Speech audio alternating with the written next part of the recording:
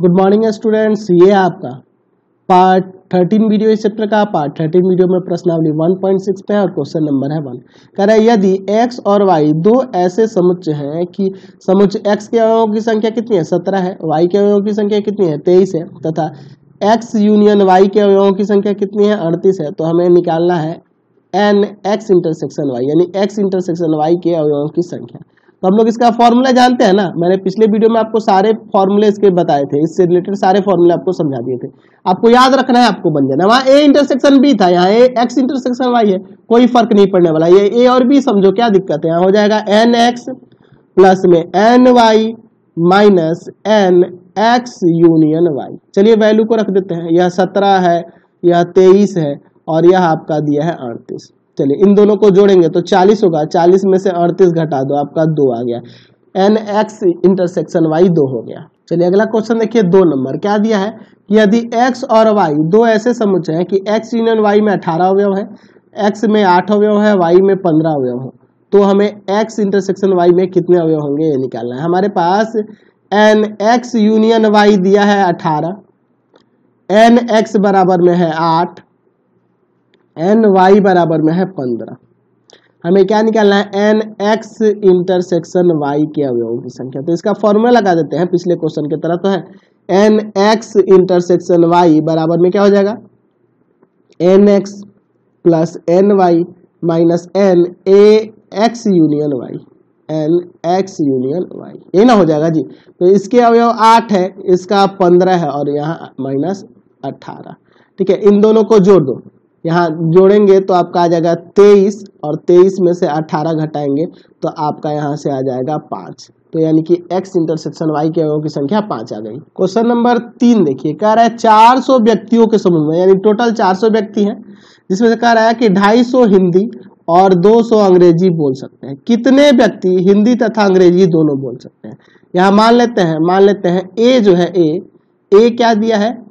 हिंदी हिंदी बोलने वाले, हिंदी बोलने वाले बोलने वाले, हिंदी बोलने वाले व्यक्तियों का समूह, व्यक्तियों का समुच्चय या समूह भी कह सकते हैं, समुच्चय। ए जो है, हिंदी बोलने वाले व्यक्तियों का समुच्चय निरूपित करे और बी जो है, अंग्रेज़ी बोलने वाले, अंग्रेज़ी बोलने वाले, अंग्रेज़ी बोलने वाले व्यक्तियों का समुच्चय।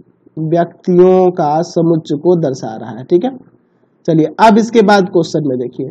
आपके हिंदी बोलने वाले कितने हैं? ढाई सौ है। अंग्रेज़ी बोलने वाले कितने हैं? उनकी संख्या 200 है। अच्छा 400 टोटल व्यक्ति हैं तो उस, वो टोटल 400 व्यक्ति है, यानी कि ए यूनियन बी टोटल मिला के हिंदी और अंग्रेज़ी बोलने वाले टोटल मिला के कितने लोग हैं? 400 लोग। ठीक है? तो ऐसा भी तो हो सकता है कि दोनों में ऐसे लोग भी हों जो दोनों भाषा जानते हो, हिंदी और अंग्रेज़ी। तो वही हमें निकालना है कि ए इंटरसेक्शन बी क्या होगा। यही हमें निकालना है। तो यहाँ पे एन ए इंटरसेक्शन बी निकालना है तो इसका फॉर्मूला क्या हो जाएगा जी?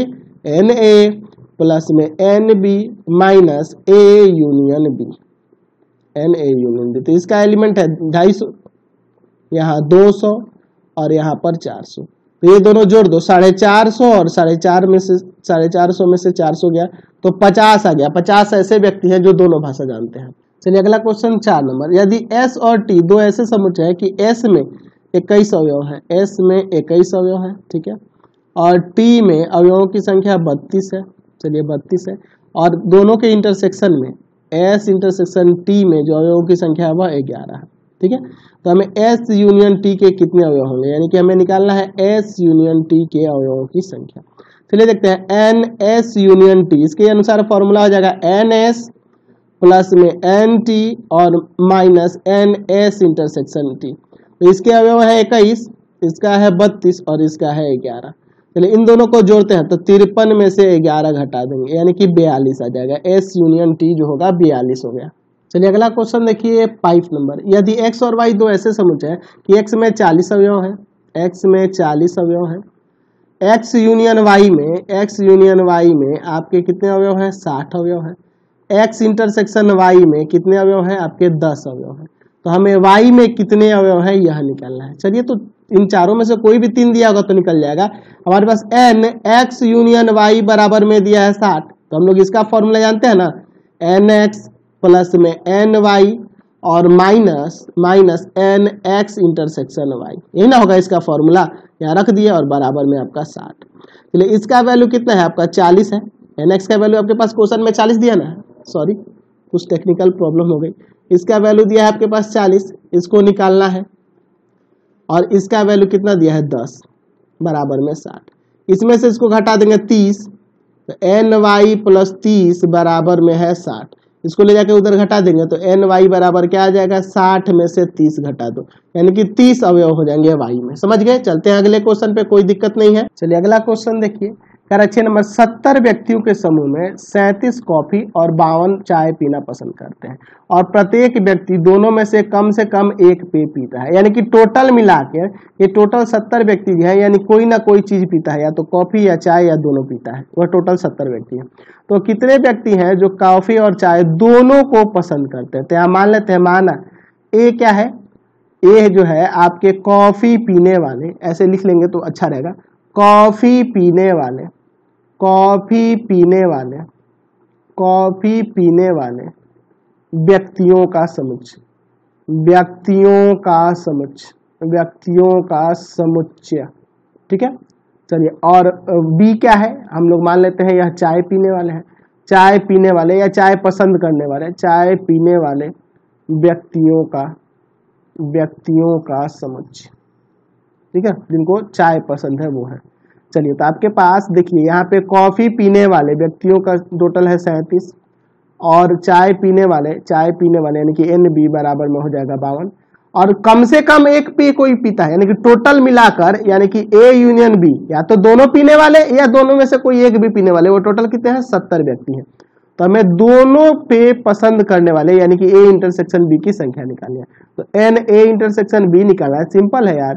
यहाँ एन ए प्लस में N B minus N A union B चलिए तो इसको सॉल्व कर देते हैं। यह है सैंतीस, यह है बावन और माइनस में सत्तर। इन दोनों को जोड़ोगे तो यहाँ पे सात दो नौ और पाँच तीन आठ, नवासी माइनस सत्तर। घटा देंगे, यहाँ पे उन्नीस व्यक्ति ऐसे हैं जो दोनों पे पसंद करते हैं। चलिए अगला क्वेश्चन देखिए सेवन नंबर क्वेश्चन क्या करा? है पैंसठ व्यक्तियों के समूह में टोटल पैंसठ आदमी है, जिसमें चालीस व्यक्ति क्रिकेट पसंद करते हैं और दस व्यक्ति क्रिकेट और टेनिस दोनों पसंद है। मतलब कि दस ऐसे लोग हैं जो क्रिकेट भी पसंद है उनको और टेनिस भी। तो कितने व्यक्ति ऐसे हैं जो केवल टेनिस पसंद करते हैं, किंतु क्रिकेट नहीं। मतलब टेनिस खेलेंगे, लेकिन क्रिकेट उनको पसंद नहीं है। कितने व्यक्ति टेनिस को पसंद करते हैं? फिर कह रहा है, कितने व्यक्ति टेनिस को पसंद करते हैं? दोनों में फ़र्क है। यहाँ कह रहा है, कितने व्यक्ति केवल टेनिस पसंद करते हैं? क्रिकेट नहीं। मतलब कि टेनिस तो करते लेकिन क्रिकेट नहीं। और कितने व्यक्ति टेनिस पसंद करते हैं? यानी कि हो सकता है वो टेनिस भी जानते हो और क्रिकेट भी उनको पसंद है। तो इसमें वो सारे आ जाएँगे। जिनको टेनिस खेलने आता है, वो टेनिस पसंद करते हैं वो, और जो क्रिकेट भी खेलना पसंद करते हैं, वो भी हो सकते हैं। लेकिन इसमें सिर्फ़ केवल टेनिस वाले, क्रिकेट वाले नहीं होने चाहिए। चलिए तो इसको देखते हैं। दो प्रकार के खेल है क्रिकेट है और दूसरा टेनिस है। तो मान लेते हैं, माना ए बराबर क्या है? क्रिकेट क्रिकेट पसंद करने वाले। क्रिकेट पसंद है ना इनको? क्रिकेट पसंद करने वाले। करने वाले। व्यक्तियों का समुच्चय व्यक्तियों का समुच्चय है। व्यक्तियों का समुच्चय जो है, वह ए निरूपित कर रहा है, ठीक है? और बी हम लोग मान लेते हैं बी टेनिस वाले हैं। टेनिस टेनिस पसंद करने वाले, टेनिस पसंद करने वाले, टेनिस पसंद करने वाले व्यक्तियों का व्यक्तियों का समुच्चय है। व्यक्तियों का समुच्चय है, वह क्या है? आपका बी है। चलिए, यहाँ पे देखिए, पैंसठ व्यक्तियों के समूह टोटल पैंसठ व्यक्ति हैं तो पैंसठ व्यक्ति हैं तो क्रिकेट, टेनिस वाले ही हैं। या दोनों वाले हैं, या दोनों में से कोई नहीं दोनों में से कोई एक खेल रहे हैं। यानी कि यहाँ दिया है कि ए यूनियन बी जो है, आपके टोटल पैंसठ है। दोनों मिलाकर, क्रिकेट और टेनिस के टोटल समूह में।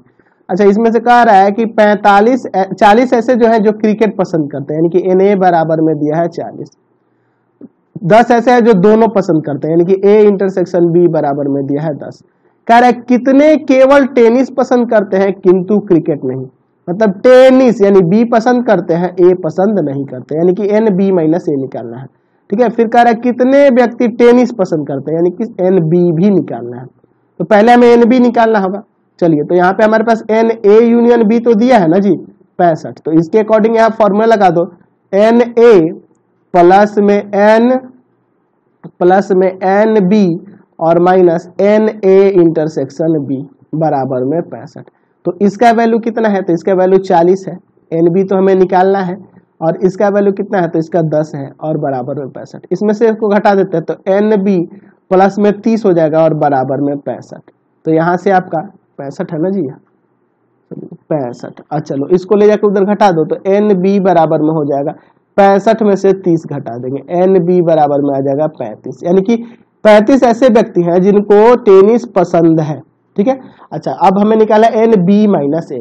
तो एन बी माइनस ए निकालना है तो हम लोग जानते हैं कि एन बी, सेकेंड वाले के लिए चल रहे हम लोग फ़र्स्ट वाले के लिए अब चल रहे ये तो सेकेंड वाले के लिए है अब फ़र्स्ट वाले के लिए। एन बी बराबर होता है एन बी माइनस ए और प्लस में एन ए इंटरसेक्शन बी मैंने ये फॉर्मूला लिखवा रखा है ना जी? तो एन बी का वैल्यू पैंतीस आ गया। हमें यह निकालना है N B in B minus A निकालना है और इसका वैल्यू आपके पास दस दिया है। ये जाके उधर घट जाएगा, पच्चीस आ जाएगा ना?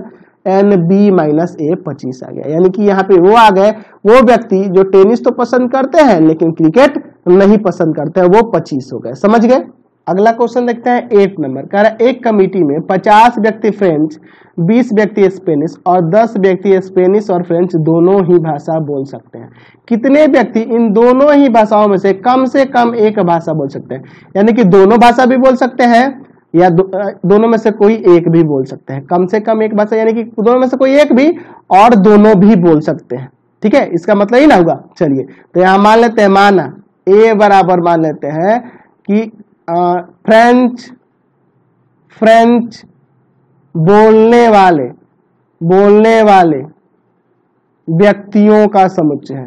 व्यक्तियों का समुच्चय आपका ए निरूपित कर रहा है, ठीक है? ठीक है? अच्छा बी बराबर में मान लेते हैं स्पेनिश बोलने वाले, है ना? स्पेनिश स्पेनिश बोलने वाले स्पेनिश बोलने वाले व्यक्तियों का व्यक्तियों का समुच्चय है। व्यक्तियों का समुच्चय जो है, वह बी है, ठीक है? चलिए, क्या कह रहा है कि एक कमेटी में 50 व्यक्ति जो है फ्रेंच बोलते हैं। एन ए बराबर पचास। और 20 व्यक्ति जो है ना, वह स्पेनिश बोलते हैं। और दोनों बोलने वाले, यानी ए इंटरसेक्शन बी, वह कितने हैं? दस है, फ्रेंच और स्पेनिश।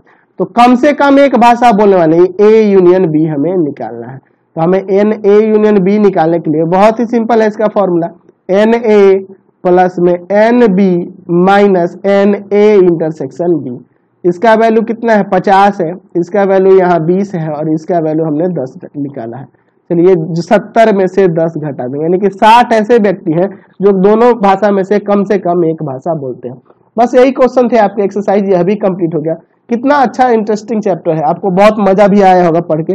अगले वीडियो में हमें प्रश्न वाली को भी देखना है। कोई दिक्कत नहीं होने वाली है। आप प्लीज़ वीडियो को लाइक करेंगे चैनल को सब्सक्राइब करेंगे। और इससे रिलेटेड जो भी आपको वीडियो देखना होगा, सीधे डिस्क्रिप्शन में जाना। आपको पूरे बुक का लिंक डिस्क्रिप्शन में दिया हुआ है। पूरा प्लेलिस्ट का ही लिंक मैंने दे रखा है। साथ ही साथ केसी सिन्हा भी मैंने पढ़ा रखा है, उसका भी लिंक है। सब आपको लिंक डिस्क्रिप्शन में जाएँगे। प्लीज़ आप वीडियो को लाइक करेंगे शेयर करेंगे और कमेंट करके ज़रूर बताया करो कि हमारे चैनल के वीडियो आपको कैसे लगते हैं। वैसे तो मैं बहुत ही इंटरेस्टिंग तरीके से, बहुत ही अच्छे तरीके से आपको पढ़ाता हूँ, जहाँ तक मुझे पता है। लेकिन आप भी कॉमेंट किया करो, बताया करो। अगर कुछ कमी हो, उसको भी बताओ, उसको भी हम लोग दूर करेंगे। प्लीज़ वीडियो को लाइक करना शेयर करना और आप ताकि हमें पता चल सके यार कि आप कितना जानते हो, कितना समझ रहे हो। आपसे कोई गलती हो रही है, कोई आपसे प्रॉब्लम हो रही है बनाने में, वो भी बताया करो कि, सर, हमारे साथ ऐसा प्रॉब्लम है, उसको भी हम लोग अगले वीडियो में दूर करेंगे। तो प्लीज़ आप लोग ऐसा ध्यान रखेंगे। Thanks for watching the video comment ज़रूर करना वीडियो में। ठीक है?